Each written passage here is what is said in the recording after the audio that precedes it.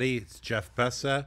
Going to do the race of the day for Friday, July 22nd. I had a couple races I could have picked from here. Um, if you're a subscriber, you'll see race five. I have a really good play in race five, um, but uh, decided to go with race six.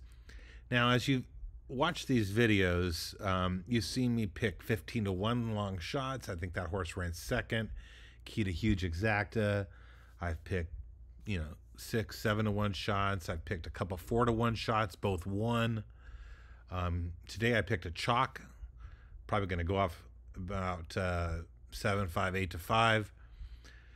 I don't know the results of that race yet, and you know I'm trying to pick different horses. I want it to make it clear that you can go a lot of different directions in this these charts. Okay, today I'm very rarely I, am going to do a maiden claiming race. Okay. These are hard races. Okay.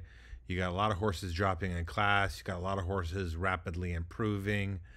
Um, that you know they make it tough. Okay, but the race gets a bet score of three. It's eight furlongs on the dirt, and uh, this favorite sitting on top, the four, got a good form cycle working for, and a good jockey trainer but the horse has very little early speed.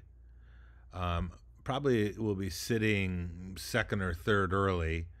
Um, his energy overall is very average. Does not fit the race great, although he does improve slightly on PFTS odds to best odds. He does get the A, but it's a weak A, very weak A, and no value. And this is the kind of favorite you want to try to beat.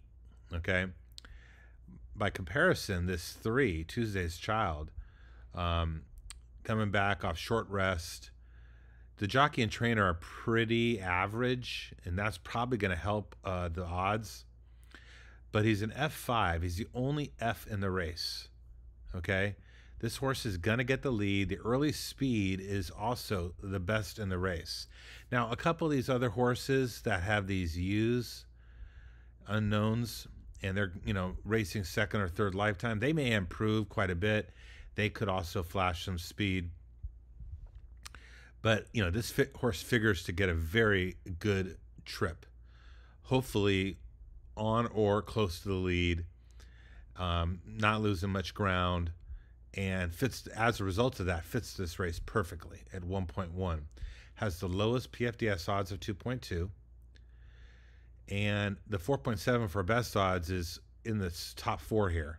Okay, it's, it, actually ranks uh, um, second. 4.7, 4.74.